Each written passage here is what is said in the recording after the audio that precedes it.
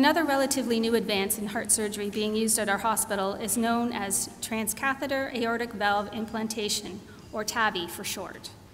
TAVI is a minimally invasive surgical technique for replacing damaged or diseased aortic valves. It's less invasive than conventional open heart surgery and can even be used to treat patients unable to undergo the conventional surgery due to advanced age, poor physical health, or other complications. At LHSC, TAVI is supported through donor dollars. Dr. Bob Kiaii is directly involved in many of the other cardiac in many of the cardiac surgery program successes at LHSC. He's here with us today to tell us more about TAVI and how by supporting this procedure, donors are having a tremendous positive impact on our patients. Dr. Kiaii is an associate professor in the Department of Surgery at the school, Schulich School of Medicine and Dentistry at the University of Western Ontario. He's a cardiac surgeon and director of the minim minimally invasive robotic cardiac surgery program in the Division of Cardiac Surgery at London Health Sciences Centre.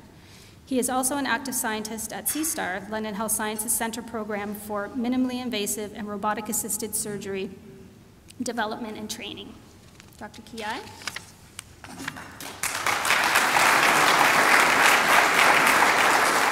Thank you very much, Lisa. Um, uh, I want to, first of all, thank the Foundation for organizing uh, this particular event. It's an honor and absolute privilege for me to be able to come here and share with you the successes we've had uh, with the support of Foundation and thank every individual who's here for their support and their donation that allows us to be able to deliver such care. Um, one of the things that um, I'm going to concentrate on today is the procedure that was discussed, uh, that was named, is called transcatheter aortic valve intervention.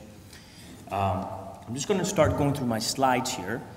So, as it was mentioned, TAVI stands for transcatheter aortic valve intervention, and I just want to bring to people's attention that this is an alternative therapy for aortic stenosis. Aortic stenosis is a, is a narrowing of the aortic valve, which is the main valve, the main gateway that allows the blood to leave the heart towards the rest of the body. So this is a normal aortic valve. It opens up completely, allows blood to be able to leave the heart without any resistance. And it's basically got normally three cusps, or what we call three, you can say, doors, that opens up with each heartbeat, allows blood to leave the heart. What happens over the years is as we basically undergo degeneration of the valve, valve undergoes development of calcium on each of these particular cusps that makes this very, very restricted to motion. So in other words, it's not opening properly. So hence this opening that you see here is nice and wide, becomes extremely narrowed, and hence causes what we call aortic stenosis, narrowing of the aortic valve. And this narrowing, as you can see here, is a significant problem because the natural courses continues to get worse and worse and worse to the point that individuals develop significant shortness of breath and are not able to perform their regular activities.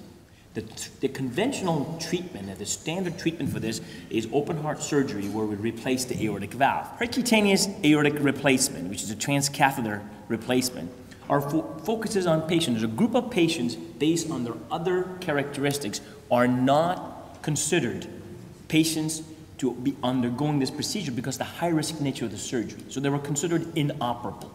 And these patients, unfortunately, had no other really alternative treatment measures that we could offer them. And hence, there's no medicines that could go on, and the condition would continue to worsen and worsen and worsen until it would result in their demise. And hence, it was a very, very difficult for us healthcare practitioners that we didn't have any other modalities to be able to treat these patients.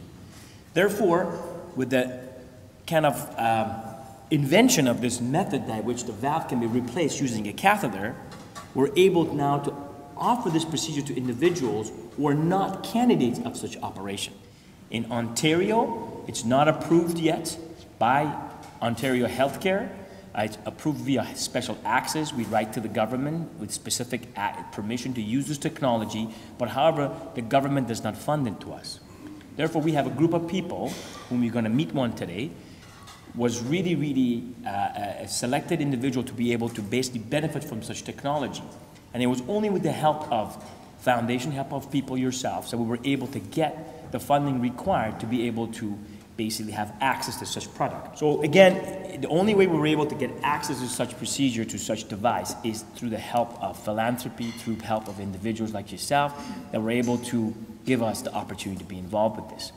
Uh, the very first patient we did this procedure on is a lady who's right in the audience. Um, this uh, uh, Mrs. Keynes was uh, diagnosed with a narrowed valve, and at that time we didn't know there was any contraindications to her health because she's a very healthy individual. Uh, so we actually embarked on our operation using conventional open heart technique. We went to the operating room, but then when we basically opened her chest, it became evident that the calcium deposit on her valve was all over and her entire artery had calcium on it. If we were going to perform this operation using conventional techniques that we had, which is the standard treatment, there was a very, very high chance she would have had a stroke. So we abandoned the operation we closed her and uh, told her that if we would have proceeded with the operation, we would have done her probably more harm than good, and hence we were awaiting to be able to get access to this technology.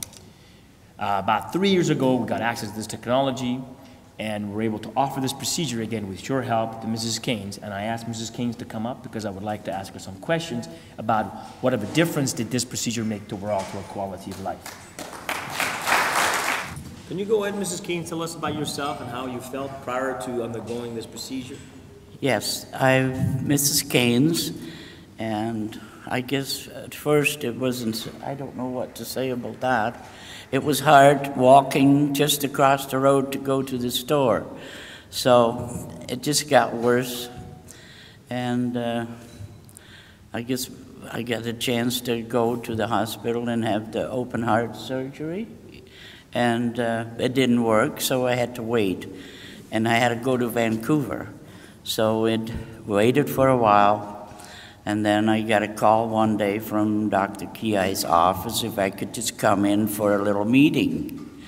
Well, I started to shake because I knew what he was up to. So, anyway, I went in, the brave person I am, and uh, I didn't have to go to Vancouver, so I was booked for this one here in London, and it was great.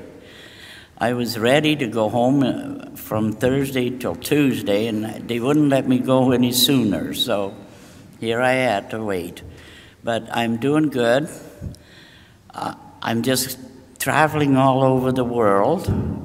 I'm going to the Bahamas next week, and then uh, maybe next spring I'll start again. It's just been it's just been great being alive and be able to do all these things. I can't think of anything better to say. I, I just love this man.